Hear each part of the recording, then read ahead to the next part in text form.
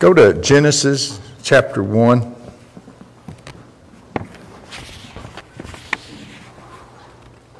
Genesis chapter 1. I want to talk about a transfer of power.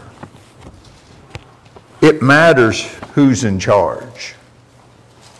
It matters who's in charge in the United States in politics. It matters who's in charge in a business.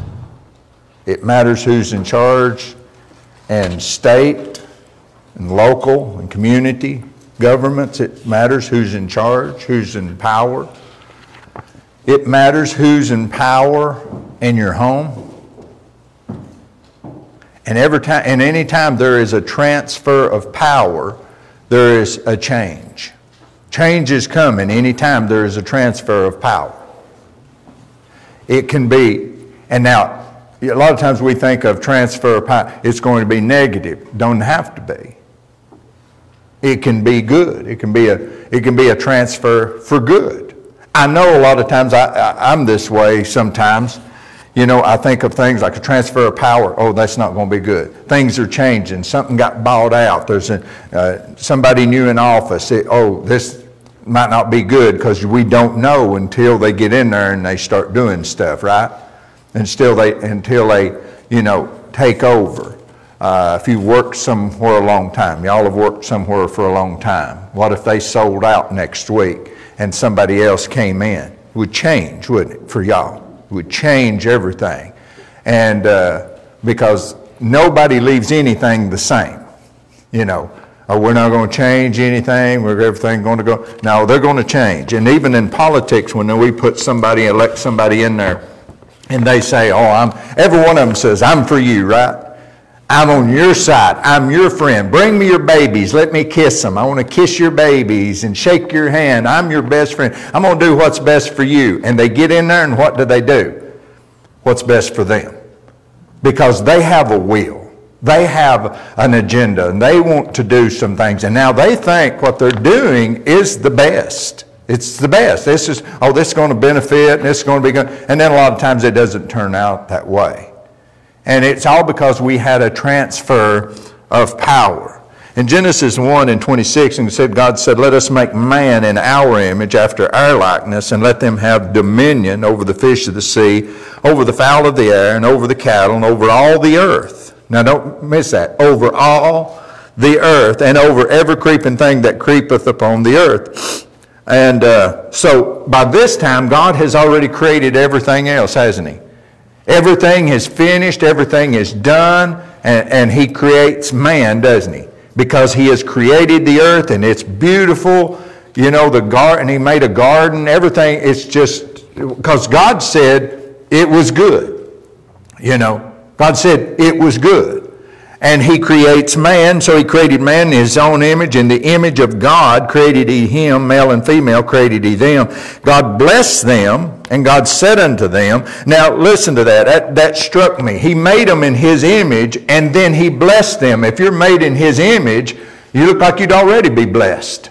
If I'm made in his image, I'm already blessed, ain't it? But it said he blessed them because he blesses when he says something.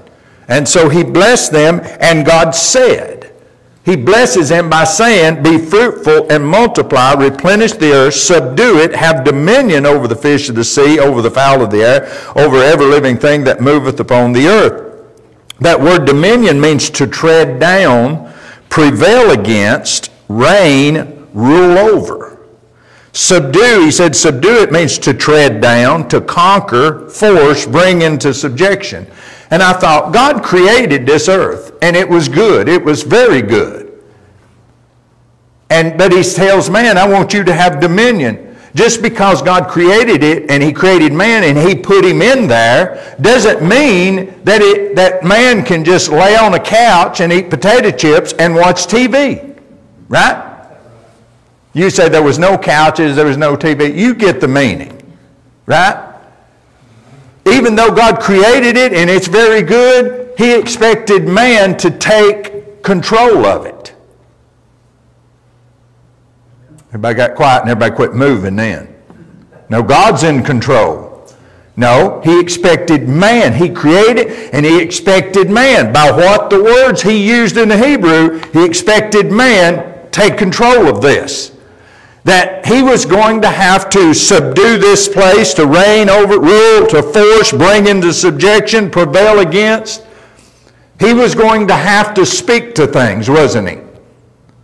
Now, God didn't, and he put him in the garden in Genesis 2:15, and the Lord God took the man and put him into the garden of Eden to dress it and keep it. The word dress means to work, to serve, to keep means to guard, to protect, attend to.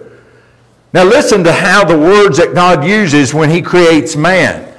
He says, because you see there is the earth and there's nobody else on the earth and everything he's created is good and, but yet there is a, another spiritual force at work.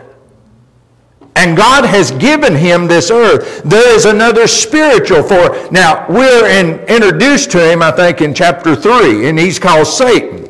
And he comes through the serpent. And he beguiles Eve, and he tricks her, and he deceives her, has God said.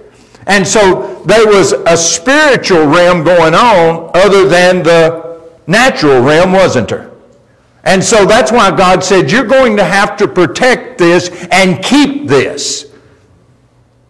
Who's going to? Man is going to have to. God didn't say, Now I'm going to take care of you. I put you in a bubble. Nothing can ever happen to you. No, He says, You're going to have to keep this. You're going to have to do this. You see, God gave the control and power to Adam. Well, Adam and Eve give it to Satan. Okay? You see, he should have given it to us. He gave our inheritance away. He gave what belonged to us away. He gave the power, He gave the control, He gave the earth away. His, his possession. Remember, I read it. He said, the earth, over all the earth. He was have dominion over all the earth. And so when he multiplied and had more offspring and had kids and this thing took off, that it was theirs, wasn't it? But now it's not anymore because he gave the control over to Satan. Uh, you see, God give it to Adam and Adam give it to Satan. And then God gave it to Jesus and then Jesus gave it to us because he didn't get it through Adam. Adam sold us out. And so he sent Jesus in order to give it. But we're living, most of the people in the church is living like we're still, it's still God to Adam to Satan. And we're left out. And we didn't get anything. It's poor, pitiful us.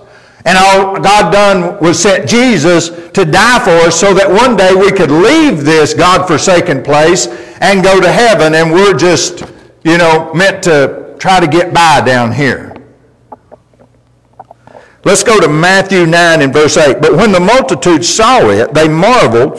This is when Jesus had spoke to the man that was, I believe, brought in by four, and he was lame. He said, Your sins are forgiven. Take up your bed, rise and walk. And he gets up, and they marveled and glorified God, which had given such power unto men.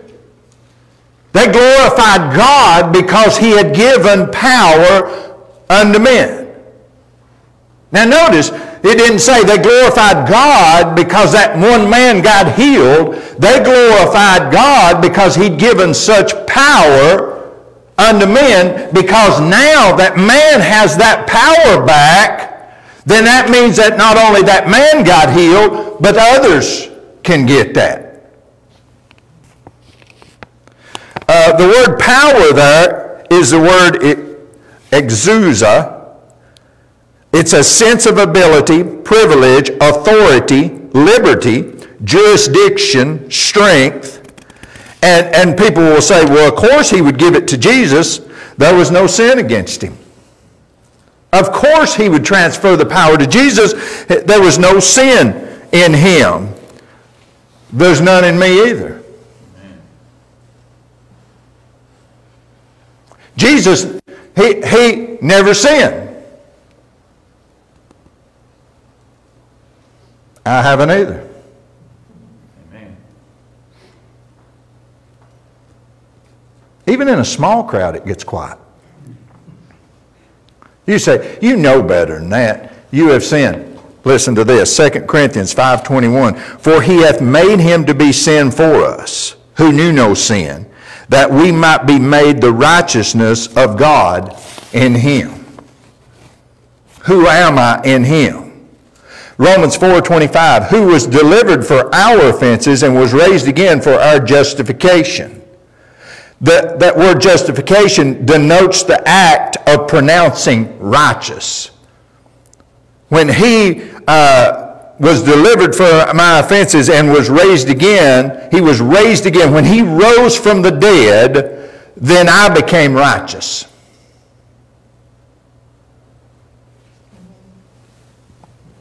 No, he's waiting on me to clean my act up. No. When Jesus rose again from the dead, it says he was raised again for my justification. And that word, if you look it up, denotes the act of pronouncing righteous. So he pronounced humanity righteous. Now everybody say, well, that means everybody's saved and everybody going to heaven. No, it means everybody has the, has the capacity, the ability now. Before you did not have that. Now there's a way made to where you can release faith and go, I've got that because righteousness comes by faith, not by works. Okay? Uh, now notice in 2 Corinthians, let's go back over for just a second. For he had made him to be sin. It doesn't say he made him a sinner. He made him to be sin. Jesus, it doesn't say he became a sinner and he committed the act of sins, but he became sin. He became the very thing that separated us. He became that. He took that upon himself because of what we done. He became that and he died. He took that away. It was all put on him, right? All of that, all our sin was put on him. Well, what happened to him? He died. And so when he died, he took it with him. He nailed it. Bible says, I don't know, I may have this in a minute. He nailed it to the cross. He took that upon himself. So he could transfer the power. Come on.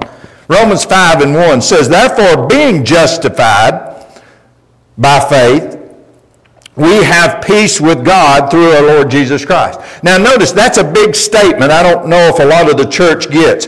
He was raised again for our justification. We're pronounced righteous. So Paul says, therefore, being justified or pronounced righteous by faith, we have peace with God through our Lord Jesus Christ by whom also we have access by faith into this grace wherein we stand and rejoice in hope of the glory of God.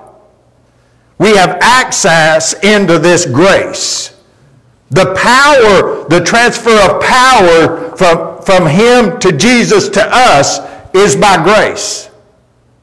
And so it was transferred from Jesus to us by grace. Why? Because by faith we believe that we are the righteous of God.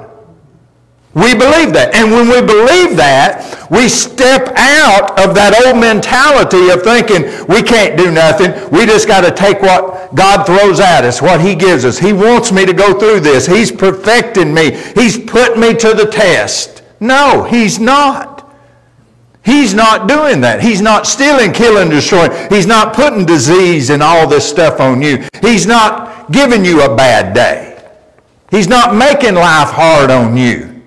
No, he's, he's, how does he, how does he correct us? How does he teach us? By the Word. By the Word. How do you teach your kids? I leave them outside. When they do bad, I lock them outside and make them stay outside all night. You know what that's called? Abuse. A bad parent, right? Romans 5 and 12 said, For as by one man sin entered into the world, and death by sin. And so death passed upon all men, for that all have sinned. For unto the law sin was in the world, but sin is not imputed when there is no law. Before the law, sin was not imputed to man held against. Nevertheless, death reigned from Adam to Moses, even over them that had not sinned after the similitude of Adam's transgression, who is the figure of him that was to come. Adam was the figure of him that was to come. Well, why wouldn't he be? Because Adam's made in the image and likeness but not as the offense, so also is the free gift. For if through the offense of, of one many be dead, listen, I love way Paul talks, much more the grace of God and the gift by grace, which is by one man, Jesus Christ, hath abounded unto many. And not as it was by one that sinned, so is the gift. For the judgment was by one to condemnation, but the free gift is of many offenses unto justification. For if by one man's offense death reigned by one, much more they which receive abundance of grace and the gift of righteousness shall reign in life by one Jesus Christ. Now notice this. He says in verse 15, he said, but not as the offense, so also is the free gift, but not as the offense. You see, God told them not to eat of that tree. Well, they took and they ate of it. Well, the free gift came just by faith, just by believing. He did it. And by faith we received that.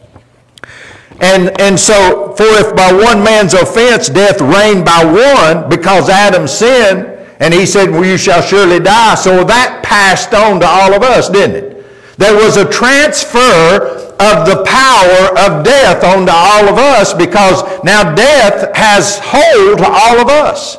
And death is separation. We were separated from God. There was a separation from God, and it passed on to everybody. So everybody is separated from God. And so that's what Adam gave us. Instead of giving us what God gave him, which was dominion and rule and reign and power over all the earth, Adam gave us death. Thank you, Adam. And you say thank you, Adam? He was so selfish.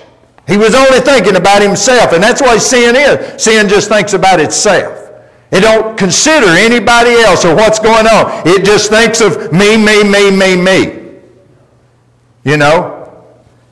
And so he says, death reigned by one. Much more, now listen to this, much more they which receive abundance of grace, you have to receive all this grace.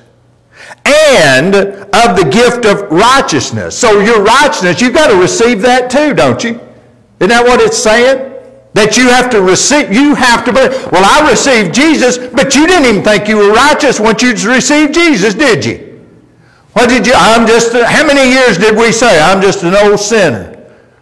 Saved by the grace of God, just an old sinner. No, the Bible says that we are the righteousness. You see, that's where, if we don't get this, we can't get the transfer of power into our life because we're still living under Adam's rule and reign. And we're still just taking what Adam give us. And that's death. And we look at this body, and I can look at it and look at my hands and going, they're getting older. I'm getting, I'm getting weaker. You know, we grow and then all of a sudden we start shrinking. Right? How tall are you? Well, I reached, uh, I think, six one at one time, but now mm, I don't know if I can get six foot. Why I got to wearing heels. Get my stature back. Why? Because I'm going back down now. I saw a chart one time showed a baby and it growed up to be a man and then it showed him and then it goes back down the other side and we end up as babies again.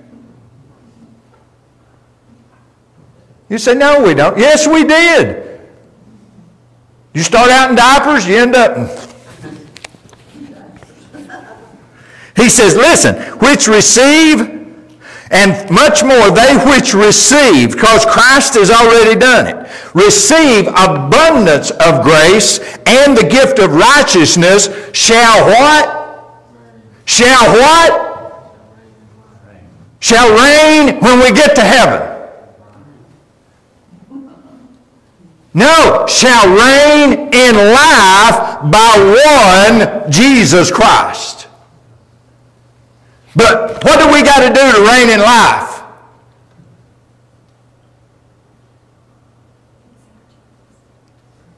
Come on. What do we got to do to reign in life? Receive abundance of grace and the gift of righteousness.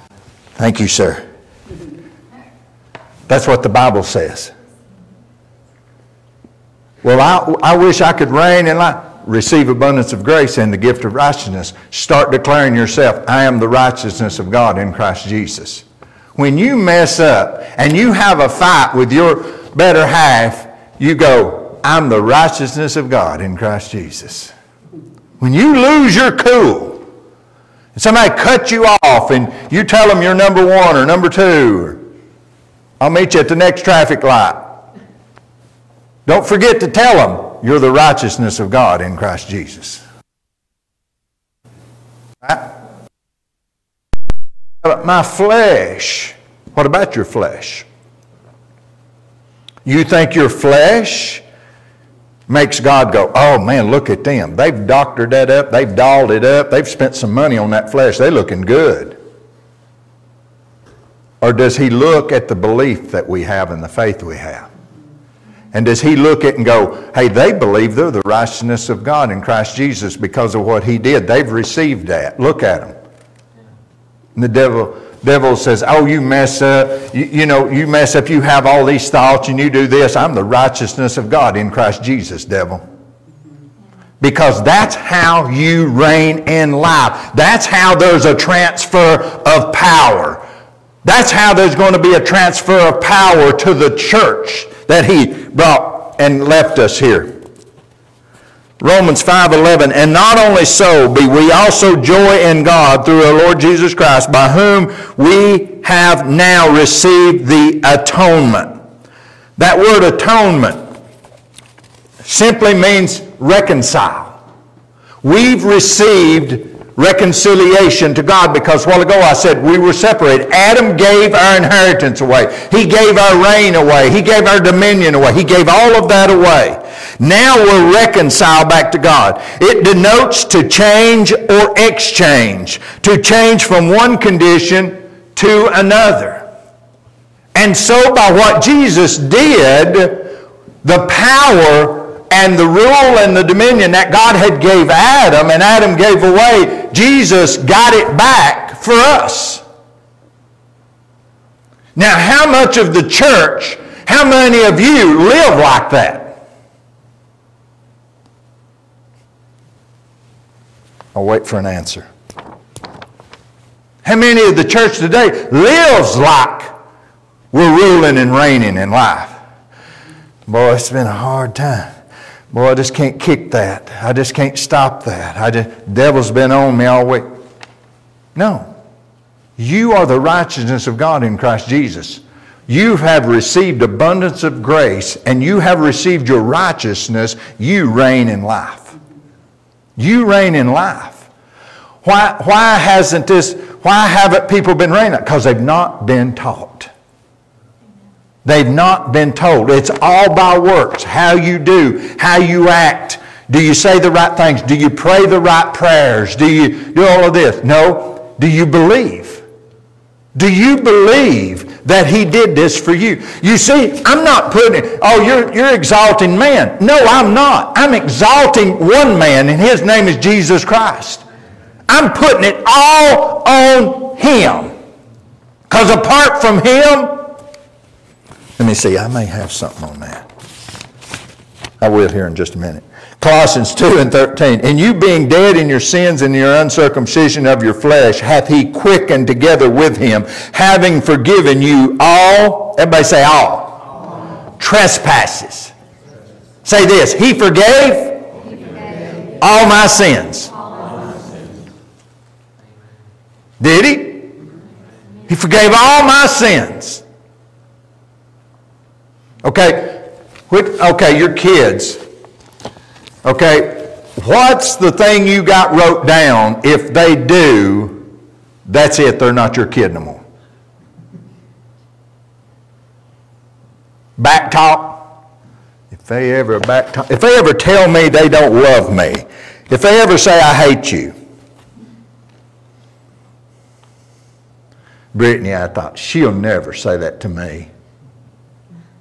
She's so cute, and we played together all the time when she was little. She'll never, she would never say that to me. If looks could kill, I'd be dead. She'd have killed me. Hate would probably be too light of a word. She loathed me.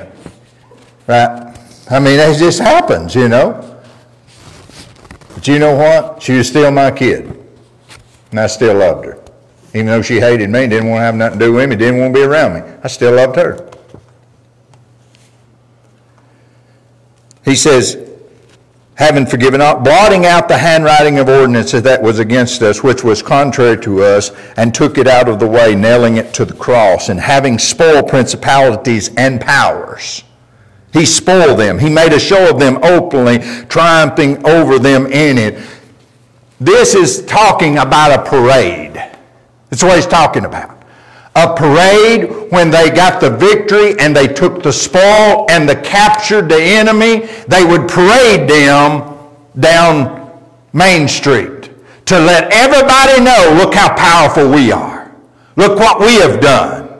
And that's what he done. He made a show of them openly, triumphing over him. You know, the devil wanted everybody to know uh, Jesus didn't raise from the dead. He didn't raise from dead. The religious people went to them guards that come back and said, He rose, He's gone, there ain't nobody there. Two men shining in white, roll the stone away. and they said, We'll give you money, don't tell it. Now, if I knew the scriptures like they knew the scriptures, I'd have been saying, Oh, thank you, Lord. He's come. This was him. But they didn't. They wanted to keep it quiet because they were under the power of the devil. And so he wanted to keep the resurrection quiet because that was the power. That's what overcame them. Luke 9 and 1, he said, Then he called 12 disciples together and gave them power and authority over all devils and to cure diseases. Uh, he gave them power, dunamis, miraculous power, ability, strength, be able, can do, possible, over and, and authority, sense of ability, privilege, authority, liberty, jurisdiction, and strength.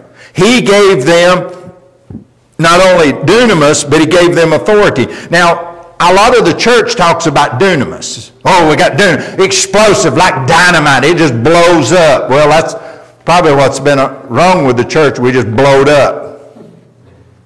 We should have been focusing on authority. See, that word power sometimes is, is dunamis and sometimes it's exousia. And it's authority. And authority is very important. Uh, it also means jurisdiction. You have jurisdiction. Uh, Luke 10 19, Behold, I give unto you power. And that word there that he used in 1019, that word, I give unto you power, it's the word authority. To tread on serpents and scorpions and over all the power of the enemy. That word power there is dunamis. The enemy has dunamis power. That's a lot of power. He said, but I give you the authority over their power. And if you, they have power, I don't know why, why didn't he just take their power away? Well, there's no need if he gives you the authority over their power.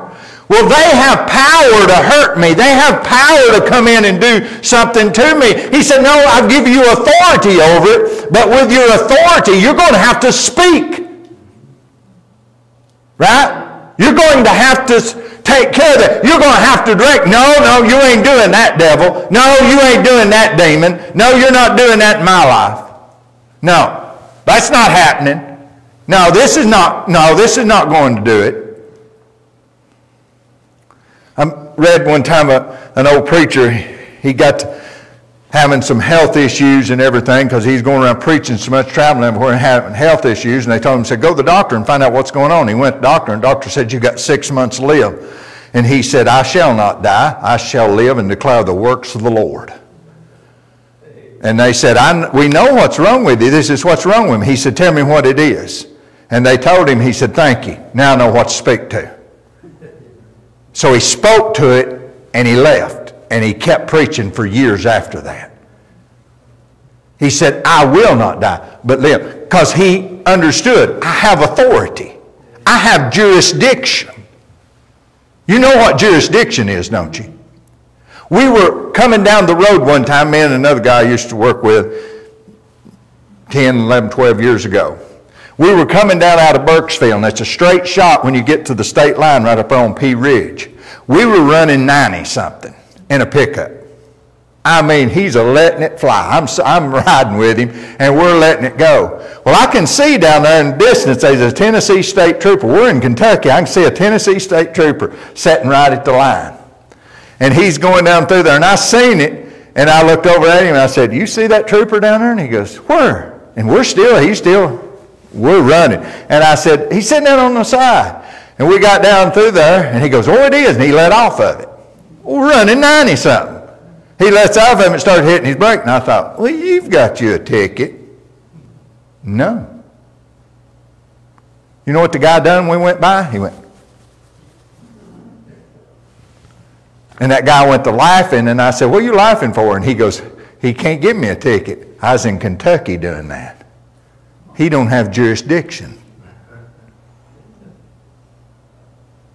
You say, I don't know if that's right. It is right. If Tennessee's chasing you, they got after a guy here a while back. Well, it's back last year in Tennessee. They got after him.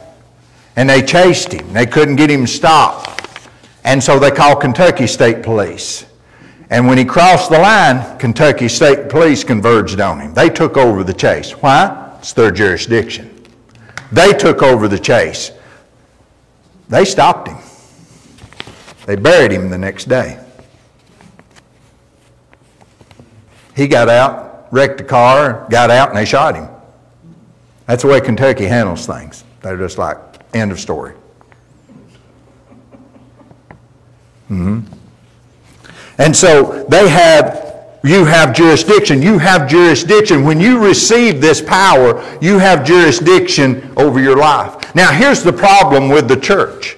They have taught that we have power so we can just bind the devil off the earth. How's that working?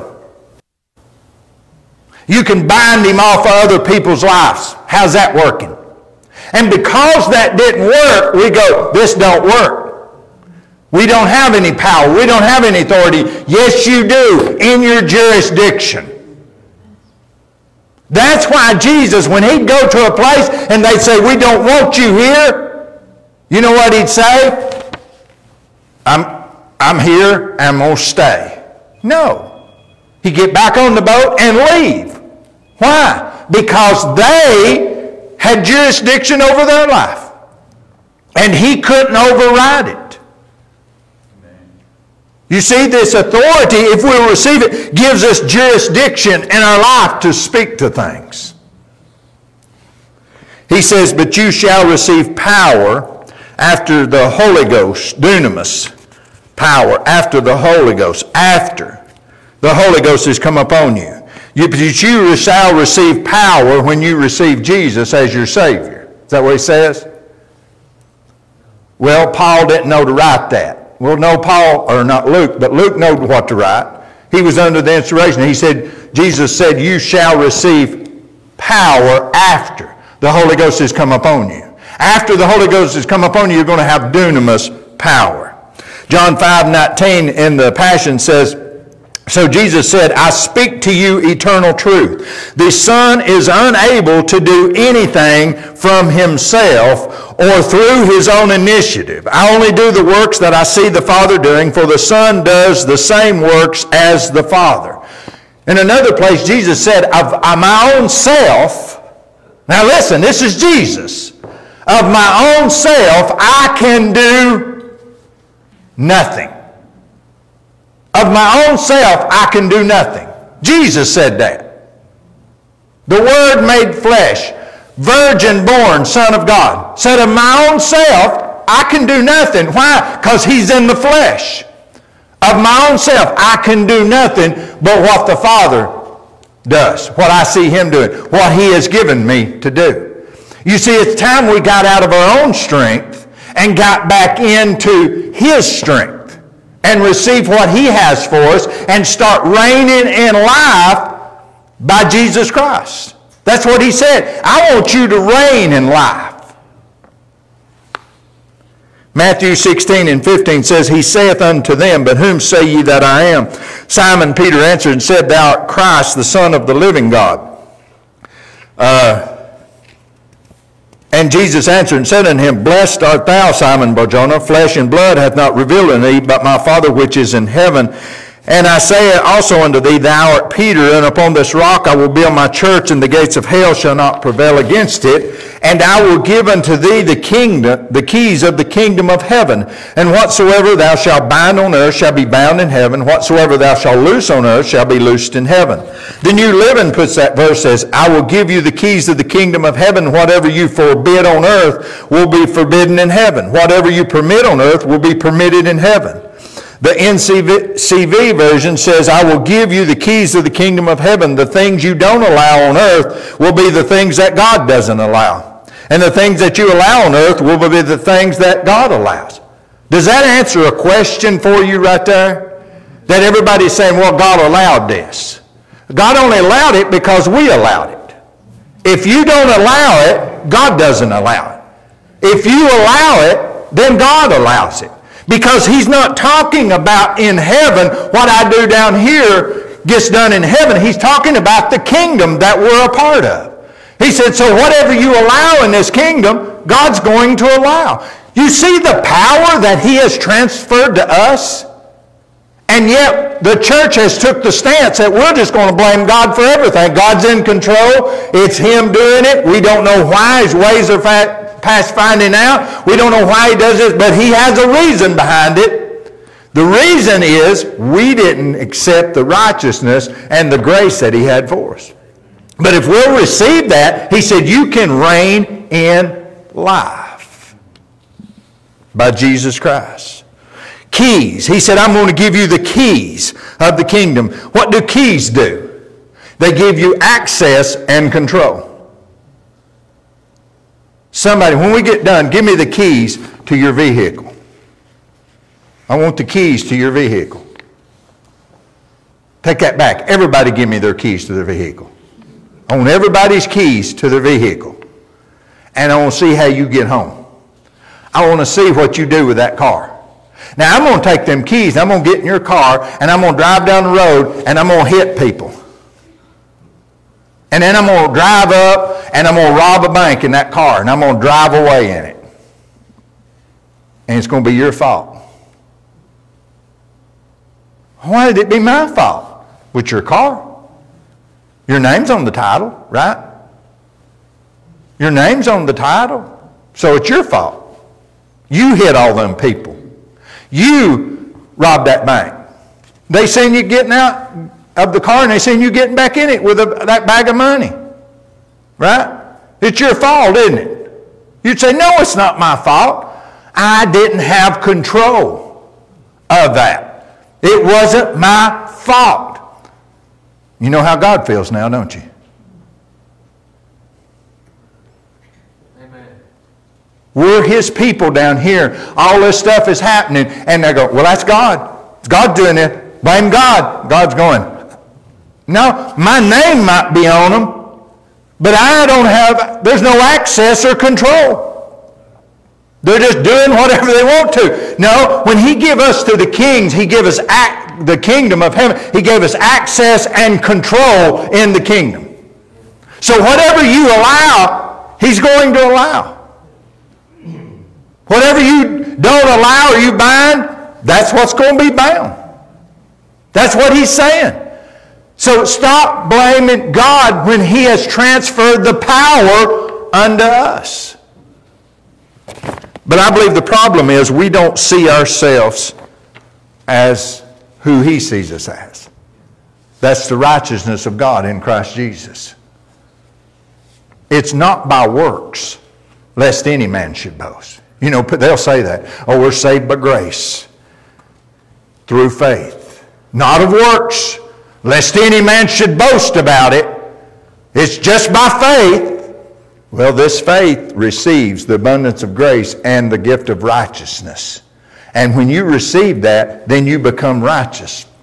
And when you see yourself righteous, then you have you can reign in life. Then you can receive from God. Because in the back of our minds, right? Maybe in the front of our minds, we, we look at what we do, what we think, what we are, and we go, I fall short. I fall short of Jesus. I'm no, I'm falling short of Jesus in this, you know? And so we pull back. We pull back. Well, I'm nothing. And we just live like that. Well, if you see yourself like that, you ought to step up there and go, hey, I'm the righteousness of God in Christ Jesus. I've not been acting like it. I need to start we're walking in this. I just need to start believing in this. I need to start doing this. You see, that's what, you know, gets it. If I got up here every week and beat you down because of you've done something wrong. Now, how many didn't do something wrong this week? Raise your hand. Raise it with me. you didn't do nothing wrong this week, right? You didn't do anything wrong this week. You, God, you got an A plus in God's book, didn't you? You done everything right, everything you were supposed to do. You you done it right. No, and see, we look at that and we go, well, I missed it. God's mad at me. I can never do anything. I can't take my authority. I can't take my position. Why can't you? It's not based on what you did, it's based on what He did. And when you do that, when you say, oh, I can't do it, you're not taking away from you, you're taking away from Jesus. You're, you're bringing him down. Well, what he did wasn't good enough to make me righteous. Well, if it's not good enough to make you righteous, how do you know it was good enough to get you into heaven? What are you going to tell him when you get to heaven? What a great feat or great act have you done that's going to get you there? Mine's going to be faith. Mine's going to be, I believed what you said. I believed what he did. That's my great act, was faith. I believe that. And because we believe it, it changes how we act and what we do.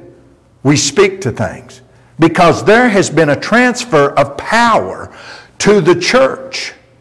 We need to take a hold of it. And you have jurisdiction in your life. Start acting like it. This is, this is your life. Now, I'm not talking about apostles, prophet, evangelists, pastors, teachers. I'm not talking about those things. I'm not talking about the fivefold ministry and the giftings of things. I'm just talking about you in your life. You can receive power in your life, in your everyday life. You see, you say, well, I spoke to this over this community. I've been speaking to a religious spirit over Overton County for years. And guess what? He's still working. He's still there. I've rebuked, I've bound, I've done everything. And then I got to thinking, maybe I don't have that jurisdiction over everybody's life. And the Holy Ghost said, You think? Because if we can have jurisdiction over everybody's life, then we could speak all the bad stuff out, speak all the good stuff in, and they wouldn't have to do anything. But I can't do that. I can't go into somebody's house and start commanding their kids and commanding their wife to fix me something for supper. I have a hard, tough time at my own house, much less somebody else's. I'm sure that wouldn't go very good. I want this for supper, woman. he won't work with it. No, it doesn't work. You've got to have jurisdiction. And that's what he gives us. Everybody stand.